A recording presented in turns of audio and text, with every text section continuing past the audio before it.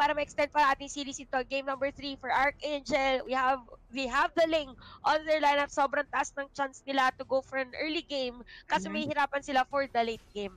Yun lang, kailangan nila tapusin to as soon as possible kasi pag hindi nila tinapos to, pwede pang uh, maibaliktad kasi may Hellcurt best. Alam natin kahit wala yan sa linya, Dark Knight Falls, napakalaking tulong nun. Pag nag-Dark Knight Falls siya, tapos naglapag ng Tempest of Blades dito yung uh, isa nating uh, Ling, paano nga naman niya uh, matatamaan pa, eh, kung bulag din naman siya doon. So, medyo magiging mahirap din to. And Akai Best, no? Medyo ang hirap din gamitin kasi para sa akin, hindi ganun magiging successful yung uh, Hurricane Dance niya. Especially kung wala siya sa tamang pwesto. Hindi katulad ng Atlas uh, kumbaga dito, I guess for Archangel, pinaka magiging role dito ni uh, Akai with Hurricane Dance is uh, kapag kapapasok si Hellcurt, automatic, ikot na agad siya para hindi na makapag-burst damage. Although after that one, medyo hindi na magiging ganun uh, ka-effective yung kanyang crowd control. Not like this Atlas, uh, napakatagal ng uh, disabling effect niya uh, with that Fatal Link. So let us see guys kung paano gagawin dito ng uh, Archangel squad against the uh, Blacklist Rivals. Kaya sinabi natin in terms of a lineup, mas maganda ang lineup dito ng Blacklist Rivals. So, medyo ano pa naman, medyo mabagal pa ang rotation natin dalawang teams, lalo-lalo sa bottom lane. For sure, matagal pa ang bakbakan yan. Pero sa top lane side natin, Abo. nagkakakitaan na. Ito na nga mga kaibigan, mukhang gigil na agad yung dalawang player dito sa Escalera. Uy, medyo masakit talaga yung ano ha, yung uh, vacuum dito at natanggalan agad ng Firaga armor yung tropa natin. Pero nakabantay lang si Asi kasi alam niya na gustong kuwanin nung Hellcurt yung crab para maging maganda. Oh. excuse me, Direk ah. Pero yun yan, yeah, naging maganda umubo, umubo si Drex. Oo, umubo, may umubo sa ano, ano natin yan, stinger natin yan. Yeah, yeah, yeah. Yes, yun yung malalapit. Sound effects yan para ano, parang uh, paalala na kailangan po natin lagi maghugas ng kamay. Pero ito na yung sinasabi natin. Oo, nabigyan pa nga ang isa dito. Pero Riddler, makakatakas nga ba Saksa with that ling? Gigil na gigil at papatayin pa yung isa. Medyo maalim nga lang naman yun para sa kanya. Pero napakabilis naman ng kamay dito ng isa. Pero tingnan natin si paring Zane. Zaman Force na ilapag na pero wala na sa posisyon. Yung Zaman Force na inailapag niya dun. Sayang nga naman. Ang bilis na ano? Maganda, no? Ayos ang bilis ng disengage ng ano ng Archangel yung maganda doon kasi padating na si Zane for the backup kaso naramdam ng Archangel na may padating na play from uh, Blacklist Rivals automatic na disengage na agad sila. So kita natin for Archangel right after getting uh, objectives or maybe taking down uh, players from Blacklist uh, Rivals automatically nag-disperse na agad sila. Ito yung sinasabi natin napakalalim na cut mga kaibigan. So malalim na for the delay for Yazo Jago. Tapos meron pa siyang information na kayang ibigay. So one na good factor na rin yan. More on the, ano na yan, more on uh, the damage na kaya niyang ipakita dito. Pero na mga kaibigan, we have Kaya. 10 peso blades, nailapag. Pero out lang din naman sila. Kukuhanin lang daw yung minion. Yung mga side grip doon sa bottom lane, mga kaibigan. Pero yung mid lane natin, dinadalawa na ng uh, tropa ng Archangel. Ito yung medyo magiging mahirap pagdating ng ano, pagdating ng uh, mid stage of the game kasi medyo safe pa eh. Safe gumalaw yung dalawang teams, ayaw nila magkamali kasi pag lumama nga naman yung Archangel sa early stage, alam nila kung paano humawak si Saksa ng Ling eh. Tapos Oo. alam din ng Archangel kung paano humawak si Zane nung Harit. Tapos may ano pa, Riddler pa dito. So, mahirap to kung sakasakali man. Oh, dito for, actually for Archangel, kailangan maging mabilis sila with the rotation. Pero so far for uh, Blacklist uh, rival, sila yung nag aggressive against Ar Archangel. But anyways guys, you can see here right now on your screens, meron na turtle na sinisimulan dito. Si Zane walang ultimate, so that is uh, a disadvantage for uh, Blacklist rivals. Kailangan pa nilang ayantayin nga, knowing na siya yung pinaka magiging damager dito. Pero ito na, Fatal Links na ibigay, hindi na nga lang din Tempest of Blades para dun sa isang link. Napakaganda naman talaga nung nangyayari dito and Azzy running out of life. Pero si Zane, nakita mo naman talaga yung balik-balikan. Oh. In the vacuum, ang pumatay din dun para sa kanya. And the double kill, make it a triple kill para nga naman kay Zane. Pero hindi, kinuha na lang ni Kyla. Isipin mo, wala pa dun si Hellquick. Oo, oh, parang ano to, bes? Parang uh, game number one din siya. Pero this time around, ang lumamang sa First turtle fight is si Blacklist Rivals. Nakita natin yan in game number 1. Thumbs naman yung nag-split push for Archangel at that time. Pero mm. cru- very crucial siya for Archangel kasi napatay dito si ano si uh, Saksa. So, uh, knowing na napatay si Saksa, nagkaroon ng edge dito si Zane at kita naman natin kung gaano kagrabe yung sayo na ginagawa dito ni Zane. Grabe din yung balik ng shield niya kaya hindi siya nababurst dito ng uh, Team Archangel. We have this enchanted talisman already for Yasujago on his uh, Atlas.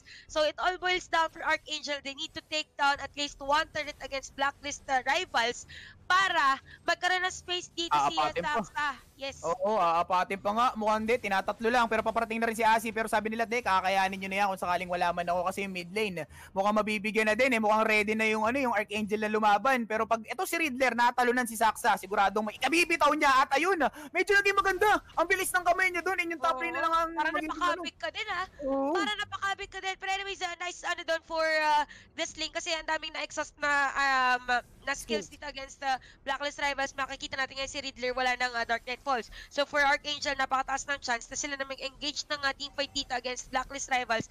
Kasi si Dark Knight Falls yung nagiging problema sa kanila.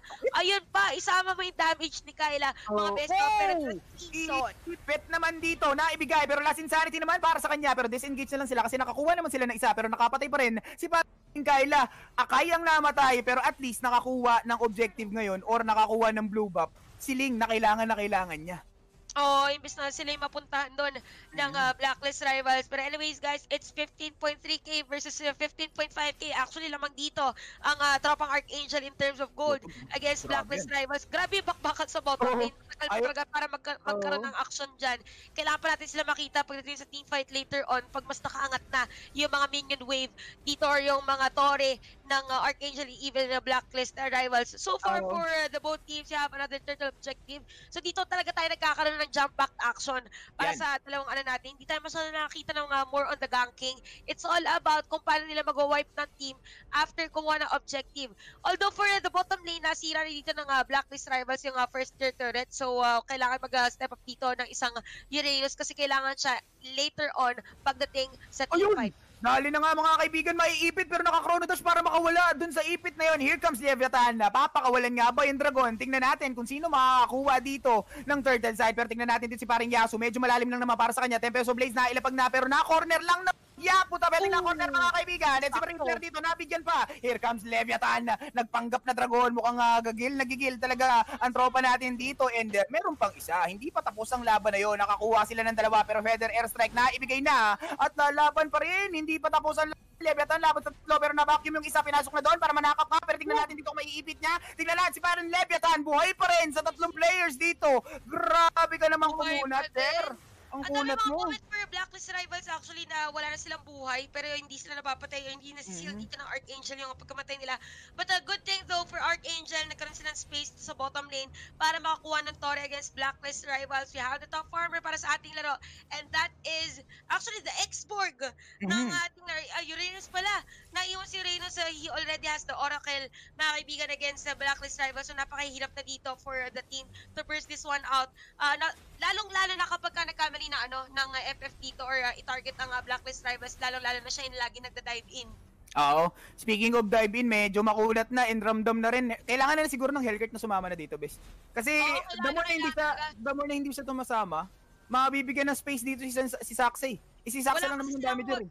Wala kasi silang firepower mga kaibigan. Ang uh, nangyari dito kay Zane, pwede lang siya mag-agree kapag ka magiging tuloy-tuloy na talaga. Hindi siya pwede basta-basta pumasok kasi si Escalera, ang nangyari kanina, sinabugan siya ng ano ng last insanity. So imagine kapag ka nag-chrono dash ka papasok, napakatagal pa bago ka makapag-chrono dash palabas not unless may tatamaan ka din na hero from Tama. Archangel. So uh, kita natin kanina yung uh, possible po? last insanity dito ni Escalera and we have Kwe Kwe Kwe on uh, this uh, Farsa na nagzo-zone out din for Oh. Archangel. Di ba, ang sakit na no, ano eh, ang sakit na ni Riddler. Pero yun na nga, ang katapusan ni Riddler dito, Tempest of Blaze, na ibigay agad, pero uh, disengage ata yung tropa. Kita mo yung Hurricane Dance, para nga naman ma-zone out agad yung tropa. Pero si Ison dito, nangangalib kung sakaling i-go siya ng Blacklist Rivals. Kasi ito na yung tamang pagkakataon sa kanila para gawin. Wala na silang mga skills eh. Here comes the Dragon, mga kaibigan. Riddler dito, nabigyan. And the last Insanity Vacuum naman, nag-connect naman dito, pero double kill para kay Saksa. Si Leviathan ang gagaling din sa bandang gilid. Pero si Zane, puno pa rin yung buhay, mga kaibigan. Talaga namang rekta-rekta lang.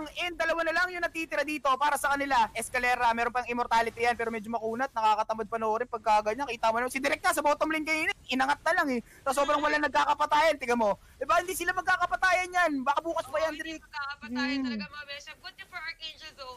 Uh, yes, uh, late na napatay yung mga iba nila players pero nakaangat lahat ng Oo. mid nila. So the more na Sinasalo. tumatagal, the more nakaangat lang din. O sige, pag-usapan na lang natin yung mga tungkol sa buhay natin.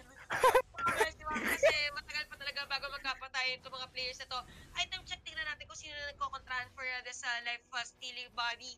Wala pa mga beso, kaya wala din nagkokontrahan for uh, this both teams. Wala pa lang ang necklace of the Rams, even si Halberd for uh, anyone ng Archangel and Blacklist Rivals. Napakakunat ni uh, Yasu Sobra. Jago mga beso because of this Oracle. Road to Dominance Eyes actually, so may hirapan dito lalo ang uh, Blacklist Rivals, lalong lalo na si ano, si Helbert and Ian Ah, oo. Garrett kasi merong slowing effect.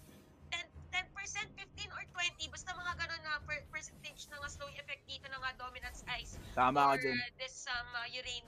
Oo, pagka ito si Arit nakapag Holy Crystal yan, mararamdaman mo na yung sakit ng Chrono Dash. Sigurado mabibigyan yan. Ito na naman yung laban ng dalawang ano, dalawang uh, pinakamakuna at pinakamatikas sa laro ng Mobile Legends. In talagang ah, sagad-sagaran lang sila. Hindi naman magkakapatayan yan, magkakambahan lang yan. Tapos kung sakaling mamatay na sila, disengage. Ganun lang yung magiging laban dyan, mga kaibigan. Pero si Ison yung kailangan may malaking bagay na gawin dito. Ipitin niya si Zane, tapos free hitin ng tropa dito ng Oo. Archangel. Yun lang yung kailangan nilang gawin. Or kaya si Riddler kahit sa dalawa. Kasi yun yung pang dive dito na ano eh. Yung talagang uh, damager ng uh, Blacklist Rivals na more into dive. So, Mhm. kita natin for Blacklist Rivals, sobrang taas ng potential nila to go for a team fight na kaya mag-wipe out.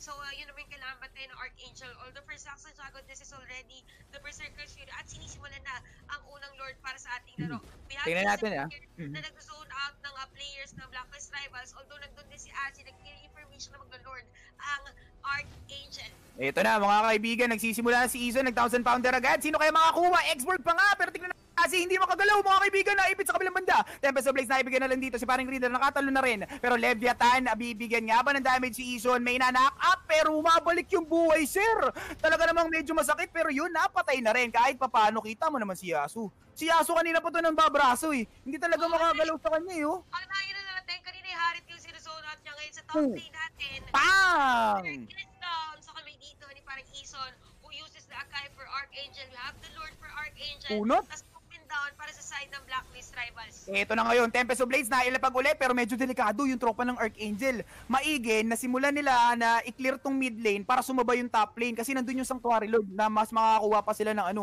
another objective. 'Di ba? Tapos may blue buff pa. Para sunod-sunod na, kumbaga, di ba, yung uh, gagawin dito ng Archangel, napakalayo pa ng uh, Lord. Sobrang Mhm. dami pa nilang uh, kaya gawin dito against Blacklist Rivals. So, wag lang talaga sila magpapahuli. Kasi Tama. si Azzy, kamuntikan na. Makahuli na isa. Uy! Pero kita natin Grabe! na Grabe, nakita mo yung Hurricane Dance Beast pero na-cancel nung Fatal Links. Umiikot siya pero binuhat siya paangat, ganun nakalakas. Si Asi dito and uh, saglit lang sa kanila na makuha itong ano, na mabasag ito. O mapatay itong uh, Sanctuary Lord pero Leviathan na nang gigigil and mukhang ah, hindi magpapapigil. Si paring Riddler dito na blinkan pa nga. At hindi! Hindi niya napatay! Hindi niya napatay dito mga kaibigan. Si Asi running out of life na rin. Si Asu doon uma-advance para hindi na gumuho yung mga tropa. Ang ganda ng positioning ng Archangel dito Oo, Grabe. tsaka sa to ang uh, maganda ginawa din, i-comment din kay uh, Kwekwe, tsaka sa Fast Hands ni uh, Saksa Shago. Kay Kwekwe, kasi nilapitan niya yung ano, nakapag-flicker up. Anyways, nilapitan niya kasi yung ano, yung uh, Ling. Oo. Kaya sakto-sakto yung ano niya, yung uh, stun Naku niya. po. Kaya Yun na. yun, another one mga kaibigan, last man standing si Ate Kyla Ubus. natin. At that is it, that is going to be a wipeout for Archangel onto this game. Yun na nga, yung sinasabi natin, yung signature link ni Saksa, eh talagang ibinigay na and tatapusin ng ating game number 2. So congratulations to Arc Angel.